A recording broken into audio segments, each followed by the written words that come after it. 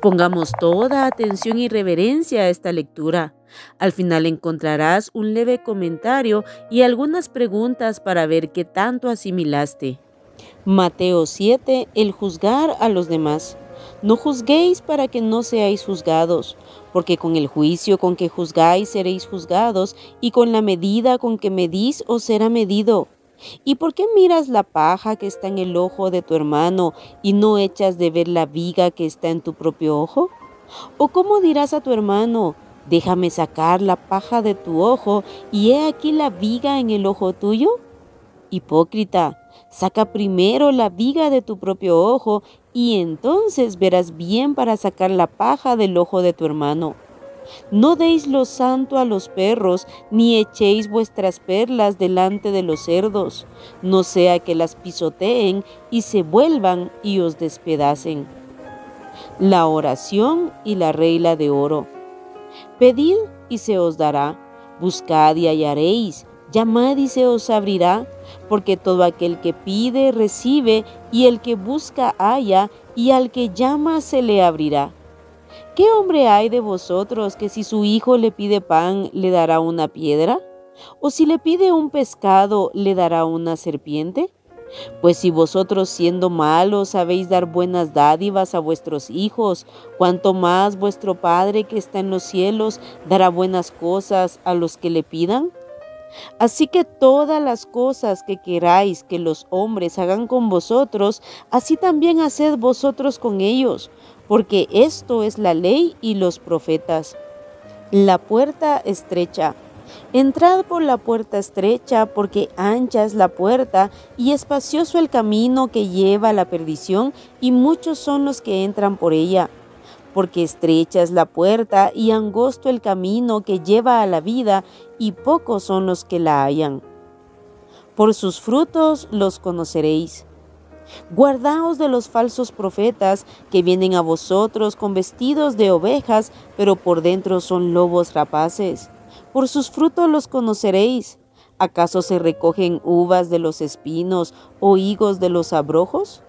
Así todo buen árbol da buenos frutos, pero el árbol malo da frutos malos.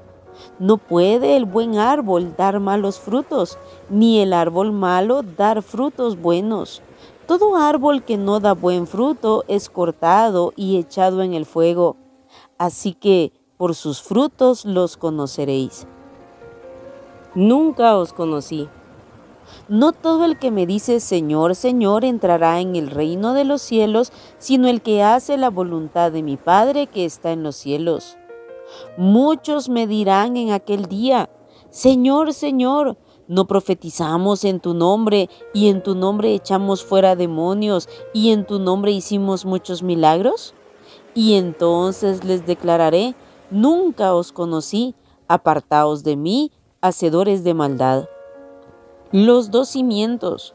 Cualquiera pues que me oye estas palabras y las hace, le compararé a un hombre prudente que edificó su casa sobre la roca. Descendió lluvia y vinieron ríos y soplaron vientos y golpearon contra aquella casa y no cayó porque estaba fundada sobre la roca. Pero cualquiera que me oye estas palabras y no las hace, le compararé a un hombre insensato que edificó su casa sobre la arena.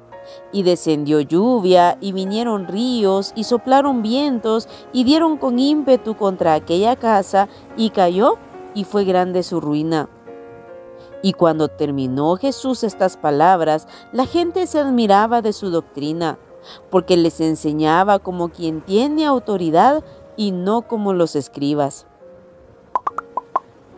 Aquí termina el sermón del monte y termina con los dos cimientos. Podemos ver cómo el oír la palabra de Dios y ponerla en práctica nos lleva a fundar nuestra casa sobre la roca. Así que todo este sermón del monte es importante escucharlo, es importante saberlo, pero principalmente ponerlo en práctica. Podremos ponerlo en práctica solamente a través de la fe en Jesucristo y por el poder del Espíritu Santo obrando y actuando en nuestras vidas. Solo el Espíritu Santo puede producir esos frutos agradables para Dios. No olvidemos que por nuestros frutos es que seremos conocidos. Ahora veamos qué tanta atención pusiste a esta lectura. Responde a estas preguntas. Si yo juzgo a los demás, ¿estoy siendo consciente de mis propios errores? Número dos, si yo juzgo a otros, ¿yo también seré juzgado?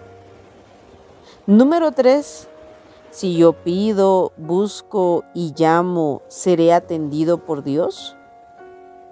Número cuatro, ¿cuál es la regla de oro? Número cinco, ¿la puerta de la salvación es una puerta ancha o estrecha?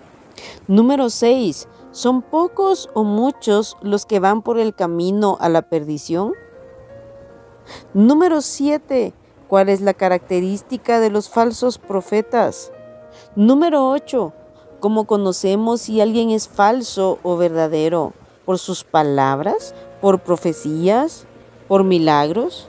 ¿Por sanidades? ¿O por sus frutos? Número 9. ¿Cómo es que edificamos nuestra casa sobre la roca? Y número 10. Llegará la lluvia, los ríos y los vientos a golpear contra la casa tanto del insensato como del sabio? Aquí terminamos el capítulo 7 del libro de Mateo y terminamos el Sermón del Monte. Que Dios te bendiga.